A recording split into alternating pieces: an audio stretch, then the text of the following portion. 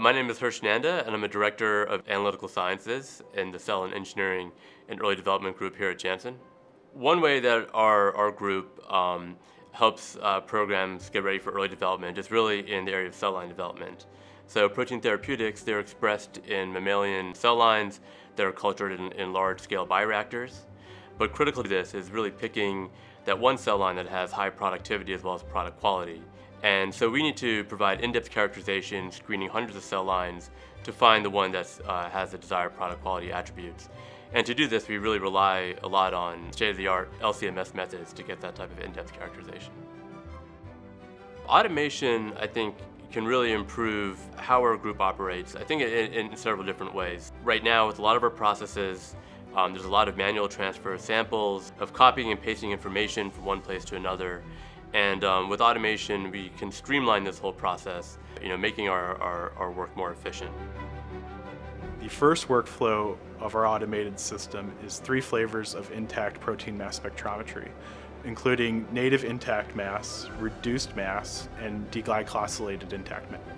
The next stage of our workflow is peptide mapping sample prep, which includes denaturation reduction, alkylation, desalting, and finally trypsin and chymotrypsin enzymatic digestion.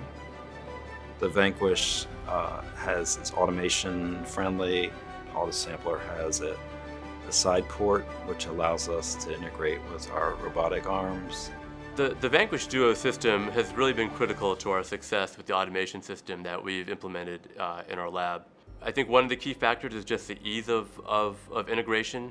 The, um, the Vanquish Duo has a side port for us to directly load our samples into the auto sampler, um, so it can integrate really with any robotic arm system you have.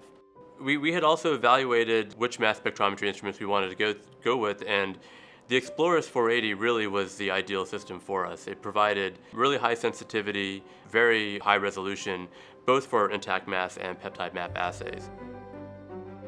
I would recommend the Vanquish LCMS because it's reliable and easily integrated into an automated system. My colleagues have a very positive uh, look on the, on the Vanquish. Um, it's very user-friendly. Uh, any maintenance that we've had to do, uh, it, it almost seems as if it's designed uh, for us to be easily replace a check valve or something. We, we don't have to use any wrenches or tools. So I really like the design. From an analytical chemistry perspective, the performance is, has been superb. The peak shape, the reproducibility, and the robust operation uh, have, in, in, the, the time that we've been using the instrument, have been uh, excellent. For automation, mass spec assays are always going to be probably the rate limiting step. And so with the dual column system, we're able to um, increase our throughput by a good 40 to 50%. Our process, which used to take three days, now takes just an afternoon with our automated system, including the Vanquish LCMS system. So with automation, um, we've really been able to streamline our processes, uh, really build an end-to-end -end system, taking samples um, from purification to sample prep to acquisition on the, the mass spec uh, instrumentation. And this has reduced our turnaround times, increased our capacity.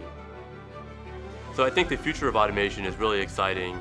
And you know, when I think about you know ultimately what are what is our goal, um, you know, really what we want to be able to do is to um, develop biologic therapeutics faster and reduce the cost of, of, of, development.